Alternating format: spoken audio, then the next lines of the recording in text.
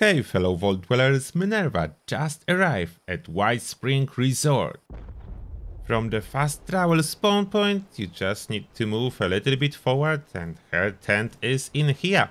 It is a big sale, so she's gonna stay for 4 days and you will be able to buy the following plants.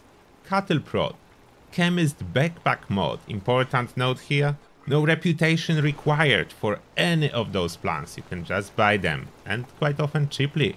Chinese stealth armor and helmet.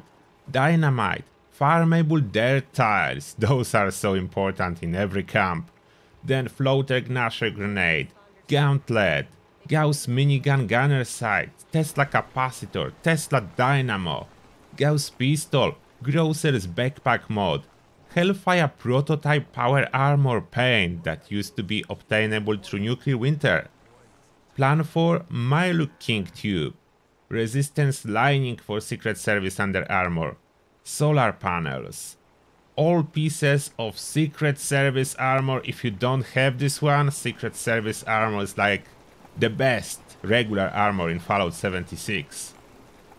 And you can buy jetpack plan in the same time. So you have you can buy full set with a jetpack if you have enough gold bullion.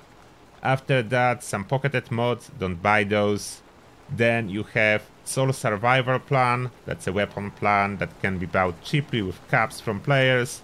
Then you have all pieces of Strangler Heart power armor. If you are interested in this one and you want to buy it, check my latest review, I will probably link it at the end of this video to make sure it's a right power armor for you, because it's a tricky one.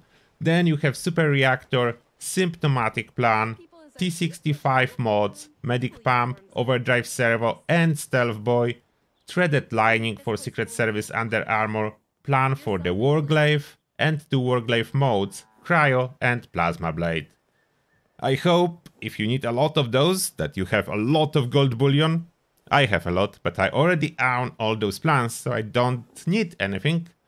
But I wish you happy shoppings, and see you in the next one.